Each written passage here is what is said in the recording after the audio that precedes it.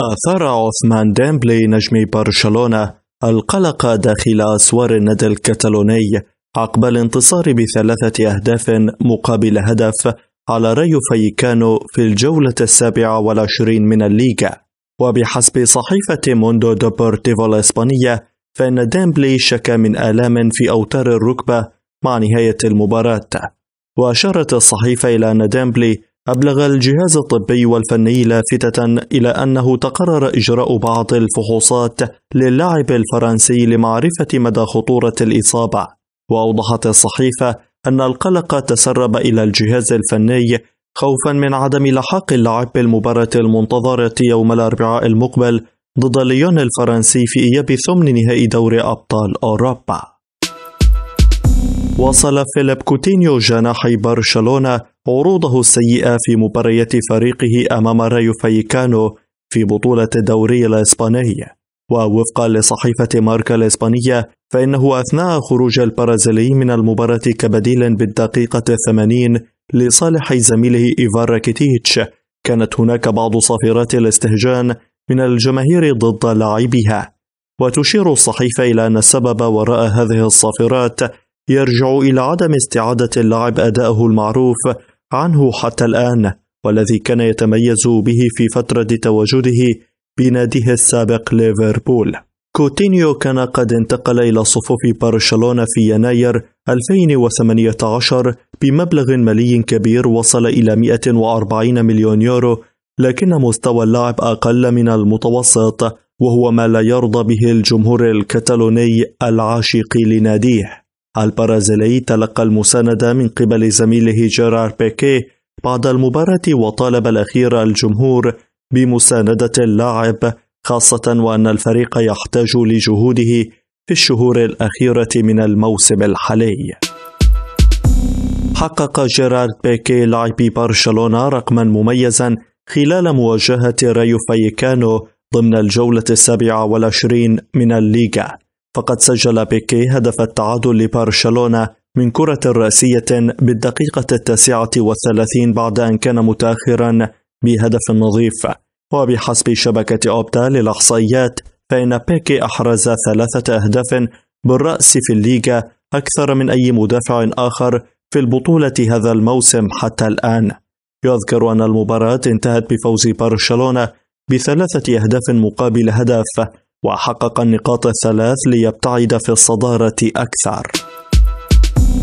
اقترب اللاعب الفرنسي أدريان رابيو لاعب نادي باريس سان جيرمان الفرنسي من التعاقد مع نادي يوفنتوس الإيطالي خلال فترة الانتقالات الصيفية المقبلة وأشارت تقارير إسبانية حسب موقع دون بالون إن البارسا انسحب من الصفقة بعدما أبدى رغبته في ضم اللاعب في الميركاتو الشتوي الماضي وأصبح رابيو على مقربة من ارتداء قميص السيدة العجوز في الموسم المقبل ومزاملة النجم البرتغالي كريستيانو رونالدو مهاجم الفريق والذي تعاقد معه اليوفي في بداية الموسم الحالي.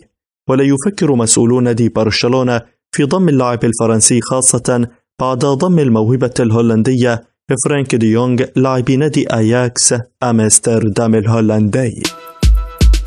كشفت تقارير صحفية إيطالية خطة نادي يوفنتوس لإبرام صفقة ثقيلة متمثلة بضم مدافع ريال مدريد سيرجيو راموس وذلك خلال سوق الانتقالات الصيفية المقبلة. وقال موقع كالتشو ميركاتو الإيطالي أن نادي يوفنتوس يرغب في استغلال عودة جوزي مورينيو لتدريب ريال مدريد في التعاقد مع سيرجيو راموس والذي سيريد بالتأكيد الرحيل حال عودة ال Special One وتفكر إدارة نادي يوفنتوس في ضم راموس للكالتشو الإيطالي. وذلك في ظل الأزمة التي يمر بها ريال مدريد وخروجه من دوري أبطال أوروبا. وأشار الموقع الإيطالي إلى أن نادي يوفنتوس يريد عمل خط دفاعي قوي بقيادة الثلاثي سيرجيو راموس مع جورجيو كيليني وليوناردو بونوتشي. الجدير بالذكر فإن تقارير صحفية قد أشارت لرغبة راموس في الرحيل عن نادي ريال مدريد بسبب الأزمات الحالية وأنه قد أخبر فلورنتينو بيريز بإعطائه مستحقاته المادية من أجل الرحيل.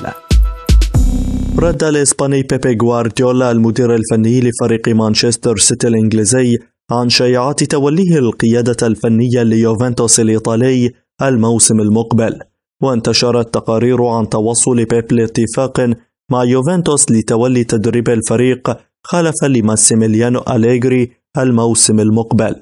وحقق مانشستر سيتي الفوز على واتفورد بثلاثية مقابل هدف في المباراة التي جمعت بينهما ضمن الجولة التاسعة والعشرين من البريمير ليج.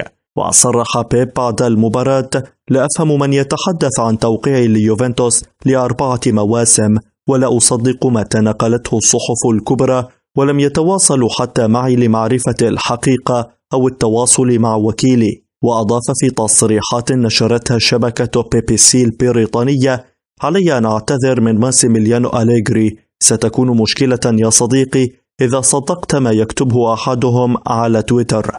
وأكد لدي مع النادي سنتين في عقدي. أنا لن أرحل عن مانشستر سيتي قبل نهاية عقدي وعلى الجميع أن يعرف ويدرك ذلك جيدا.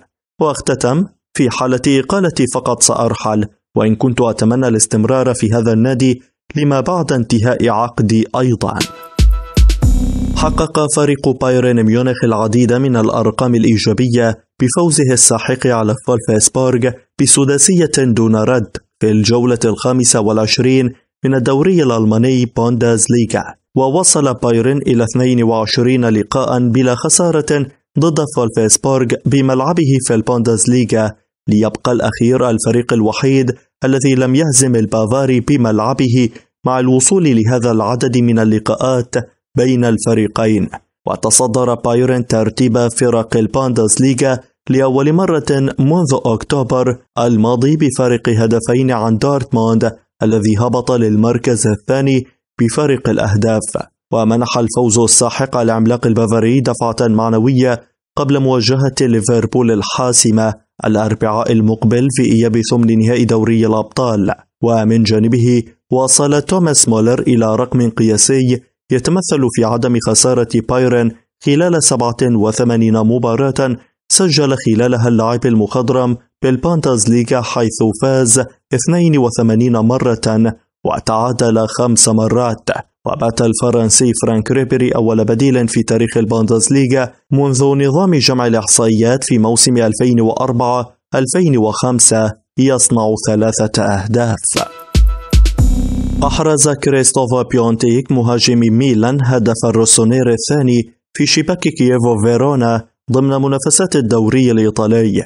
وجاء هدف بيونتيك في الدقيقة السابعة والخامسين من زمن المباراة التي أقيمت على ملعب سانسيرو ضمن الجولة السابعة والعشرين من الكالتشيو ونجح بيونتيك في اعتلاء صدارة هدافي الدوري الإيطالي بالتساوي مع ثنائي كريستيانو رونالدو وفابيو كوالياريلا برصيد 19 هدفا. جدير بالذكر أن بيونتيك انتقل إلى ميلان خلال فترة الانتقالات الشتوية الماضية قادما من جنوة. حقق ليونيل ميسي قائد فريق برشلونة رقما قياسيا خلال مواجهة الرايو فاليكانو ضمن منافسات الجولة السابعة والعشرين من عمر الليغا. وشارك ميسي أساسيا في المباراة ليرفع رصيده إلى 443 مباراة في الليغا وفقا لشبكة أوبتا للإحصائيات. وأصبح ميسي ثاني أكثر لاعب في تاريخ برشلونة مشاركة في مباريات الليغا بعد تشافي هرنانديز الذي لعب 505 مباريات وتخطى أندريس إنيستا الذي لعب 442 مباراة. يذكر أن المباراة انتهت بفوز برشلونة بثلاثة أهداف مقابل هدف ويحقق النقاط الثلاث ليبتعد في الصدارة أكثر وسجل ميسي أحد الأهداف الثلاثة ليبتعد هو الآخر في صدارة هدافي الليغا. عزيزي متابع قناة عرب جول برأيك هل وصول مورينيو للريال سيكون العلامة الفارقة في رحيل راموس عن الفريق الملكي؟ شاركنا برأيك